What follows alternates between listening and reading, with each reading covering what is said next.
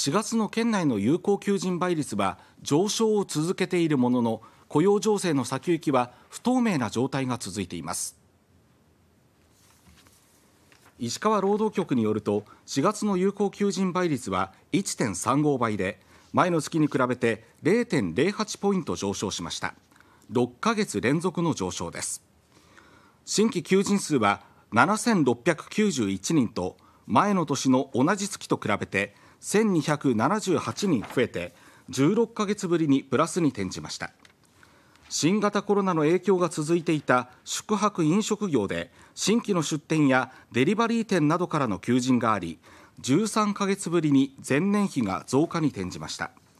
一方新型コロナの影響で解雇や解雇見込みとなった人は4月も91人確認され去年4月からの累計で1275人となっています。